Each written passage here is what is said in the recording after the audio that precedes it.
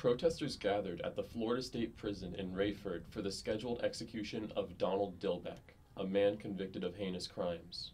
The sentence of the state of Florida versus Donald Dillbeck was carried out at 6:13 p.m. Many anti-death penalty groups attended the vigil, including Floridians for Alternatives to the Death Penalty, Our Lady of Lourdes, a church in Daytona Beach, and Death Penalty Action. Not everyone united in protest against the execution. In 1990, Dillbeck murdered a woman named Faye Vann. She resisted his carjacking attempt. Officers found him after he crashed the vehicle. Vann's family issued a written statement. 11,932 days ago, Donald Dillbeck brutally killed our mother.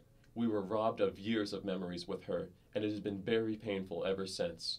However, the execution has given us some closure. We are grateful to the governor for carrying out the sentence. Florida Department of Corrections spokesperson Michelle Glady summarized Dillbeck's final moments.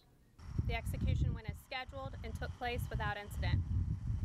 While there were family members there, um, no one wished to spoke at the event this evening. According to court records, when Dillbeck was 15, he stabbed a man after he was caught stealing a car radio. Then, he stole a vehicle and drove to Florida.